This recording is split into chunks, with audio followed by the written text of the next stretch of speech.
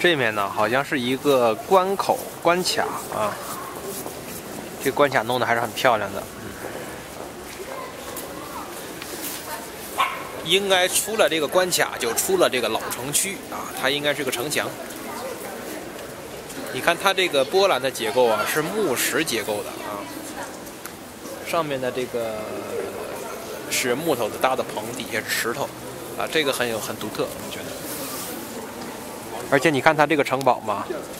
后面像被拿东西拿刀削削下去一样，前面是个圆弧的，后面是个直的，那很有特色。